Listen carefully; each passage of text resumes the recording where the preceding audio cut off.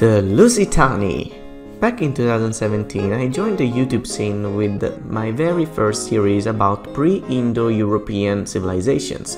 It only had 3 episodes and it was honestly crappy, but very few people know that I had planned a 4th and 5th episode for that series that never saw the light of day.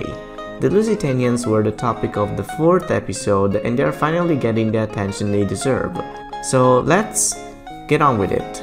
Let's roll the intro. Oh, oh, oh, hold up, hold up, hold up. Also, this video is also about the Vettones. Please go on.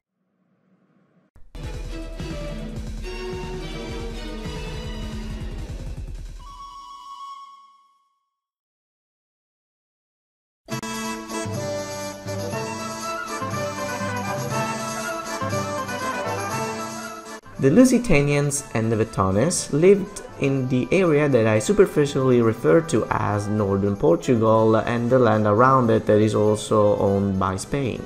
There were two cattle herder-based civilizations organized in loose confederations of tribes that came together in time of need.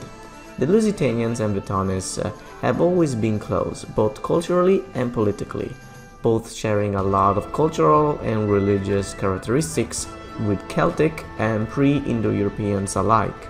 The Lusitanians in particular are credited for spreading the belief of many Iberian gods and deities that kept on being worshipped up the very end of the Western Roman Empire.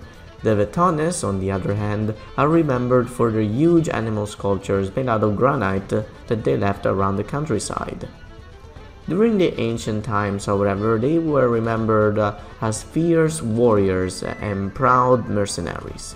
The first time we hear of the military campaigns is in the 3rd century BC, when they allied with the Lusitanians against the Carthaginians during the expansion by Asdrubal the Fair and Hannibal. They were not exactly successful, but they still were able to impress the Carthaginians so much that they hired enough of them to make a contingent that fought under Hannibal during the Second Punic War against Rome. In 194 BC, Rome took control over the Lusitanian and Vettones territory. They did not take this lightly and spent over a decade trying to fight the Romans back, but to no avail.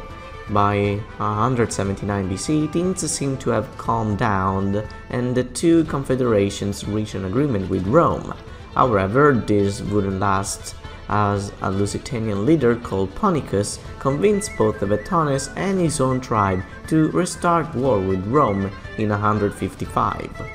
Punicus died in battle pretty early on, so his second in command, Causenius, took over and drove the Romans on the other side of the river Tagus. What seemed like uh, the conclusion of a very long war turned bad when the Romans tricked the Lusitanians into a peace talk just to instead slaughter 10,000 of them in the year 150. Here Causenius died, and very few other people were able to survive the massacre.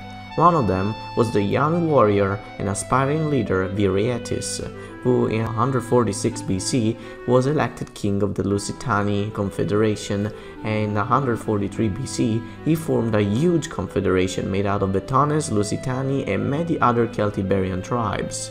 His campaigns in Turdetania were so successful that they inspired people in Numantia and Gaul to fight back against the Roman oppressors too. Viriathus took advantage of the hilly terrain to apply aggressive guerrilla tactics. He understood that facing Romans on an open field would have been his doom, so there was never a decisive battle against Rome, just a lot of ambushes, and the Romans were no match to it. So they decided to cheat. In 139 BC, Viriathus sent three Turdetani warriors named Audax, Titalcus, and Minuros to Hispania Ulterior, as in southern Spain, which today will probably be called Andalusia or something, I'm not too sure, to find a peace agreement with their longtime enemies, the Romans. But they instead were bribed by the governor Quintus Servilius Caepio, who told them to kill Viriathus instead. So as soon as they came back to Lusitania, they killed him on his leap. Funnily enough, the three mercenaries were never rewarded for their actions as the Romans refused to when they came back, since in their own words they didn't want to be associated with traitors. After the death of Viriathus, the Lusitanians kept fighting under the leadership of Tautelus. The Romans would finally give the Lusitanians the land they originally had asked for before the massacre, finally ending the seemingly endless war. Nevertheless, the total pacification of Lusitania was only achieved under Augustus. Under Roman rule, Lusitania and its people gradually acquired the Roman culture and language. Viriathus stands as the most successful leader who ever opposed the Roman conquest in Iberia. During the course of his campaigns, he was only defeated in battle against the Romans once, and from a military standpoint, can be said to have been one of the most successful generals to ever, to ever oppose Rome's expansion. He's considered a hero both in Portugal and Spain alike. This wraps up the Ancient Iberian series. I hope you enjoyed and uh, you will stick around for more. These past two years have been great and I have uh, great plans for this channel. For all the ones who would like to get to know me and give me more uh, direct suggestions or if you want to help me create a community around my channel, you can join my Discord. The link is in the description and in the comments. I don't expect a lot and that's why I'm doing it. I would like to start with um, what do we say perhaps the most uh, loyal fans and then uh, we can start from there. That being said, have a good day everyone and I will see you next time.